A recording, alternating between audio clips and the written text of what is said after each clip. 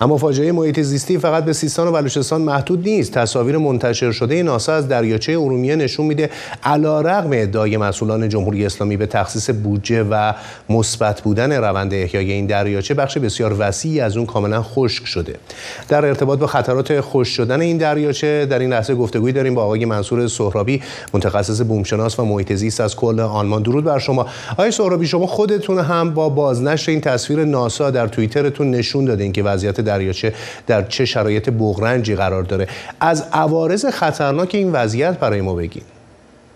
درود بر شما. ببینید من چند سالی هست که وضعیت دریاچه رو رصد می‌کنم و قبل از اینکه بخوام پاسختون رو بدم باید خدمتتون عرض کنم که وضعیت دریاچه امسال در طی 60 سال اخیر بی سابقه بوده و کمترین میزان حجم آب و مساحت دریاچه را شاید هستیم و تراز دریاچه در تابستان قطعا به زیر 1270 خواهد رسید که کمترین حجم تاریخی دریاچه که ثبت شده هست خواهد بود. این مسئله سبب میشه که کانونهای ریزگرد نمکی فعال بشن. قسمت های عمده ای از این کانون ها خوش شده ان ذرات دارن از همدیگه فاصله می‌گیرن و با تغییراتی که در فشار هوا ایجاد میشه و ما وزیدن باد و شاید خواهیم بود این ریزگردهای نمکی منطقه را فرا می‌گیره و مخصوصا استان آذربایجان شرقی به شدت تحت تاثیر قرار می‌گیره. قسمت های از استان آذربایجان غربی هم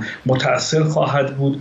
خب می‌تونه عواقب بسیار خطرناکی رو داشته باشه. اینو هم در واقع باید اضافه بکنیم. فقط ریزگرد نمکی نیست. این ذرات حاوی فلزات سنگین هم هستند. در واقع با ریزگردهای دیگه ای که از یا کشورهای منطقه از جمله عراق و سوریه که وارد ایران میشن و یا کانونهای داخلی ریزگرد دیگه که اونها هم حاوی یک نوع ماده ارسول هستند و فلزات سنگین هم دارن. هم ترکیبی از اینها وارد ریه های مردم خواهد شد. بر اکوسیستم ها فرود خواهد اومد و می‌تونه هم برای انسان عواقب بیماری زایی داشته باشه هم برای اکوسیستم ها می‌تونه خطرناک باشه و در واقع تنوع زیستی هم تهدید بکنه. و برای روستایی هم می‌تونه متاثر باشه کشاورزی ازش و طبعا برخی از روستاها ناچار به تخلیه شدن و کوچ کردن خواهم بود. آقای سهرابی حل مسئله خشکی دریاچه رومی واضحه که باید آب رو آزاد کنن آبهایی که با سدسازی ایجاد کردن باید آزاد کنن. اما هر سال حکومت ادعا می‌کنه بودجه برای این کار در نظر گرفته شده. هر سال همین دریاچه خشکتر میشه. چرا حکومت این خطراتی که برای خودش هزینه بر هم هست رو بهش توجه نمی‌کنه؟ مسئله دریاچه پیچیده هست در حقیقت. شما در نظر بگیرید کشاورزی که در حوزه آبریز دریاچه گسترش پیدا کرده. یعنی تقریبا زمین های آبی که الان وجود داره نسبت به 50 سال قبل سه برابر شده.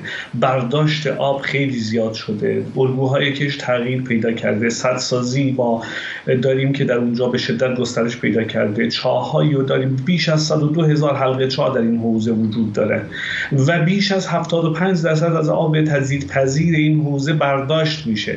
قسمتی از آب هم که قابه دریاچه است منتقل میشه به تبریز که میبایست به دریاچه می‌رسید. همه اینها در کنار هم اگر بذاریم ما می‌تونیم یک جواب قانع کننده برای این وضعیت داشته باشم داشته باشیم. اونم مدیریت ناکارآمد و غلط منابع آبی در حوزه دریاچه ارومیه که متاسفانه این وضعیت رو به بار آورده. بارها سازی آب سدها هم در حقیقت مشکل دریاچه حل نخواهد شد. تراز اکولوژیک دریاچه حدود 15 میلیارد متر مکعب هست. یعنی ما باید 15 میلیارد متر مکعب رو داشته باشیم تا آرتیمیا در اونجا بتونه زندگی بکنه در اون پهنا.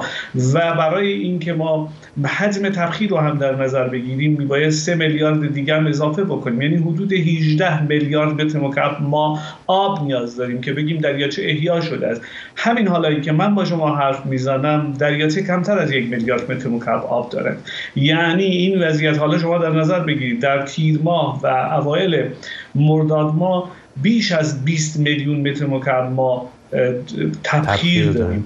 در انتهای تابستون و اوایل مهر ما احتمال اینکه کمتر از 500 میلیون متر مکعب آب داشته باشیم در دریاچه بسیار زیاد هست و همچنان که عرض کردم دریاچه به پایین ترین سطح تاریخ خودش خواهد رسید و متاسفانه اراده ای برای حل این مشکل وجود نداشته. یعنی برنامه هایی که جمهوری اسلامی برای به نام احیای دریاچه ارومیه پیاده کرده در حقیقت منتفع کردن ارگان هایی بوده که وابسته به نهادهای امنیتی هستند. از جمله شرکت خاتم الانبیا سپاست که طرحهای بله.